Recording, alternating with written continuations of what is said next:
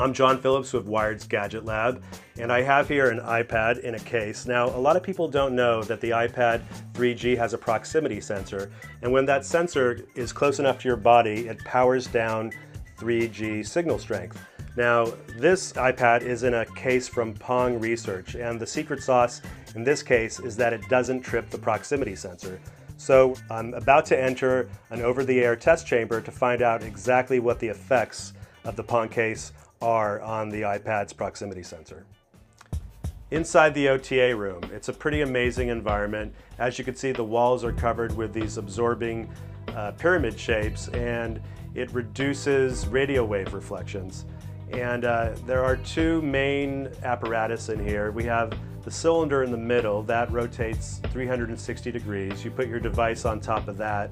Then against the wall, uh, there's a huge wheel and it rotates a 3G antenna across a 165 degree arc.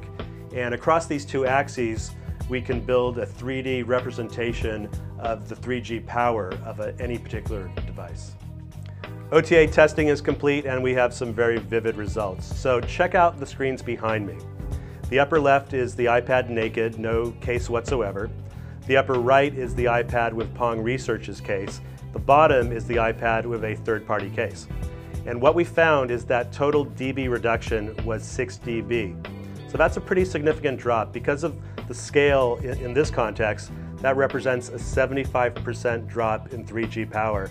And uh, so how would this affect you in the real world? Where if you, if you were on like an outlier far away from a tower, a cell tower, you might find that you couldn't connect to 3G via that third-party case.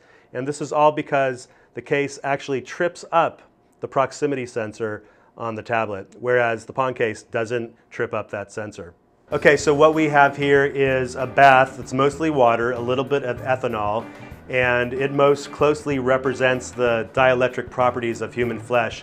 And it's gonna tell us how much energy your flesh would absorb were you holding the iPad 2 3G.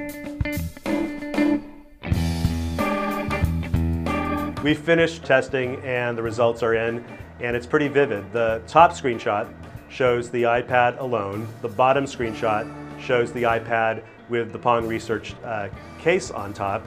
And as you can see, the results are pretty dramatic. All total, if you want to look at the numbers, the Pong case was able to reduce the radiative energy of the iPad by 66%.